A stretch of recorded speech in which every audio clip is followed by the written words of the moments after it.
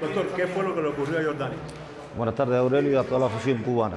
Sí, Jordani al final del tercer cuarto inning, con el 3 eh, arrancó hacia primera base y presentó una ligera distensión ahí del tercio medio de la región posterior del muslo, por lo cual eh, inmediatamente el juego está un poquito abierto, decidimos de aquí a, nivel del tercio medio de la región posterior, decidimos eh, hablar con él y se le dio descanso para valorar la posible evolución. Pensamos que no es nada grave, pero tenemos la precaución porque el playoff comienza actualmente y esperamos que sí, que resuelva y que mañana, en dependencia de su evolución, pueda, pueda jugar. Hay que esperar, vamos, tiene crioterapia, tratamiento medicamentoso y pensamos que sí, que mañana pueda alinear en dependencia también de la evolución.